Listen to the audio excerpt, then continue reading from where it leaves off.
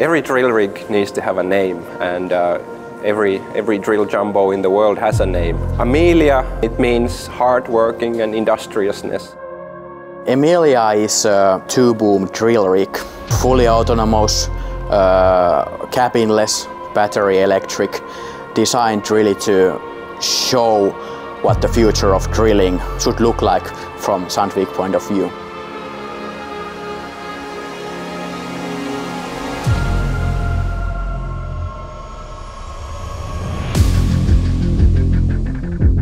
With this concept, we want to show our customers that automation and high-end technology doesn't have to be difficult. We are working hard to make automation more achievable and usable in the mining industry.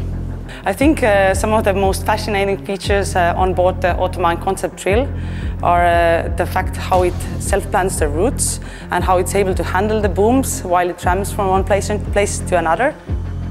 Then of course the, all the, the, autonomous drilling that it can do with the automatic bit changers, as well as the lifter tube handling. So it can autonomously uh, install the lifter tubes.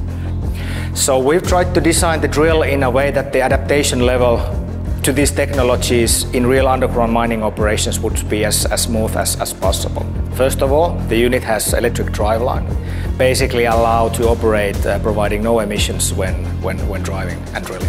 The second one, of course, is that uh, it's designed for completely uh, manless operations, basically meaning that uh, no operators are required to be part of the drilling process on the unit.